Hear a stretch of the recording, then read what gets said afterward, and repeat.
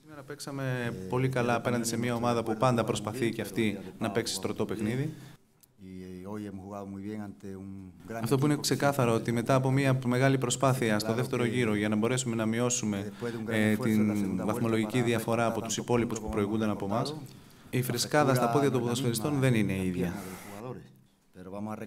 Αλλά ας θυμηθούμε στο τέλος της πρώτου, του πρώτου γύρου τη διαφορά που υπήρχαν, ε, υπήρχε ανάμεσα στην ΑΕΚ, στον Πανιόνιο, στον ΠΑΟΚ με τον Παναθηναϊκό και πώς τελείωσε ο, ο, ο δεύτερος γύρος. Ο Παναθηναϊκός δεν είχε ούτε ένα σουτ. Εμείς χάσαμε τρία ξεκάθαρα γκολ σήμερα. Θα νομίζω ότι παίξαμε με εναντίον μιας ομάδας που μαζί με την ΑΕΚ είναι αυτή που προσπαθεί να παίξει πάντα στρωμένο παιχνίδι. Ε, έπαιξε πολύ καλά αμυντικά ο Παναθηναϊκός. Έπαιξαν οι βασικοί του εκτός από το δεξιμπάκ.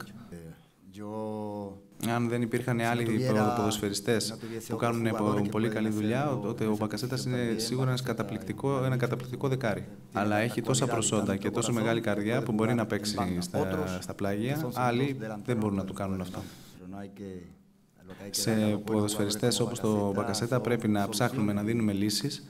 Και αν και δεν έχει πάρει πολλά παιχνίδια συμμετοχής, εγώ τον θεωρώ ότι είναι ένας πολύ σημαντικός ποδοσφαιριστής για την ΑΕΚ. Και ξέραμε ότι αυτή η δουλειά που έγινε από τον Μπακασέτα θα μπορούσε να δώσει την ευκαιρία, θα μπορούσε να μεταφραστεί σε επιτυχία, ε, βάζοντας τον Λάζαρο. Ελπίζαμε να μπορέσει να σκοράρει πράγμα που έκανε. Ποδοσφαιριστέ όπως ο Μπακάκη, όπως ο Κολοβέτσιο, όπως ο Λαβρόπουλο, που μπορεί κάποιος να πει ότι να θεωρεί ότι είναι παίκτες δεύτερου επίπεδου, είναι ποδοσφαιριστές που πάντα δίνουν την ψυχή τους, είναι εκεί για να βοηθήσουν. και εγώ προσωπικά είμαι πολύ περήφανος για αυτούς τους παίκτες.